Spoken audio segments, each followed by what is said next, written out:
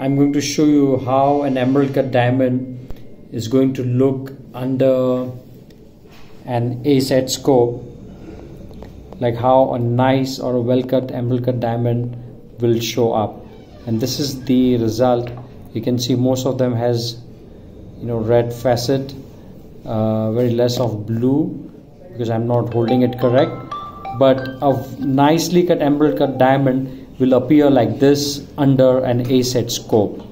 I have a diamond which is 3 carat and 18 cent and uh, it is a flawless diamond uh, of I color sourced from wholesalers with the help of our expertise. A consumer is going to save a lot of money and buy much better quality compared to any online or local jeweler.